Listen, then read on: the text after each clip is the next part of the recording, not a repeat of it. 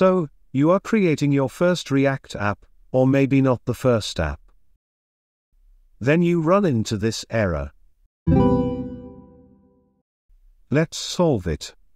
First of all, we need to understand the error. As you can see, there is no such file or directory. And what is the file? npm. So, the error is related to npm not being able to find a file. So, let's create the file. Open your drive C. Open the users folder. And click on the user system username folder. In here, you will find a folder, app, data. If you don't see it, come here to view. Then move down to show. Here, ensure that the hidden items option is ticked. Now open the app data folder. And finally open the roaming folder.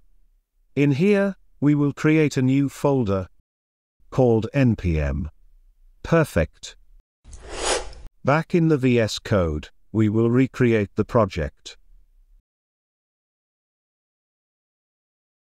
The project is currently being generated, which will naturally require some time. Once the process is complete, first navigate to the project directory.